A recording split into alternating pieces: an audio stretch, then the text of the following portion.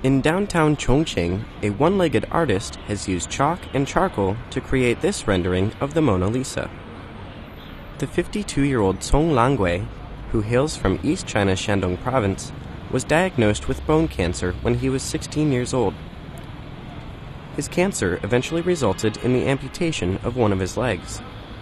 After the leg was amputated, Cong took up the hobby of painting.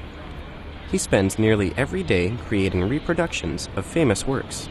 I began working on versions of the Mona Lisa five years ago. It's quite hard for me to create. Cong said his versions of the Mona Lisa are some of his favorite works. He has done more than 1,000 reproductions of the painting. Each of his street paintings takes more than eight hours to complete. The Mona Lisa is one of the most classic portraits in the world. Her smile has enchanted many people, including me. I start by drawing sketches and then adding color using chalk, which can make my works more colorful. But I've still been unable to recreate her smile. Cong left home to become a street artist at the age of 21. He's traveled to more than 20 of China's 33 provincial level regions. His works have attracted the attention of both ordinary pedestrians and professional artists.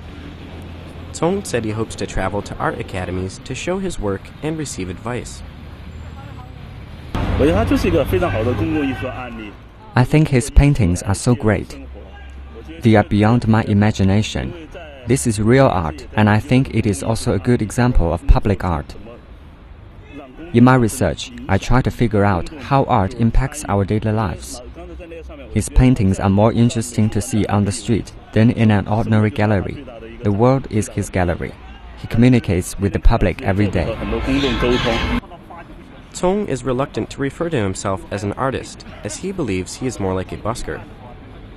Passers-by often leave small amounts of money in a cardboard box that he keeps with him when he's working. I draw on the street to survive, but on the other hand, being recognized by people is satisfying. Cong said he hopes to expand his abilities to oil, ink, and watercolor painting.